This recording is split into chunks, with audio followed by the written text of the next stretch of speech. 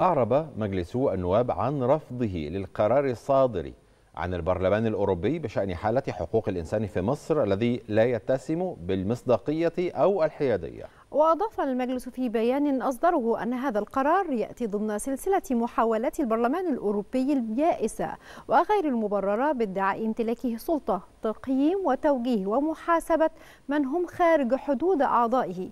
وفيما يخص تأكيد البرلمان الأوروبي على أهمية إجراء انتخابات موثوقة وحرة ونزيهة في مصر وحث السلطات على وقف مضايقة شخصيات المعارضة السلمية بما في ذلك المرشحون الرئاسيون الطامحون.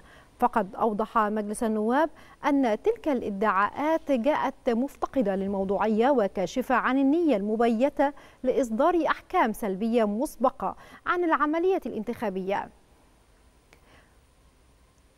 وأكد مجلس النواب أن الهيئة الوطنية للانتخابات تقف على مسافة واحدة من الجميع وبوصفها الجهة المسؤولة عن إدارة العملية الانتخابية مشيرا إلى أن سبق وأن تأكد لها من واقع متابعتها عدم وقوع أي مخالفات أو أعمال محاباة أو مضايقات من قبل الجهات المكلفة بتنفيذ قرارات الهيئة المتعلقة بالانتخابات الرئاسية.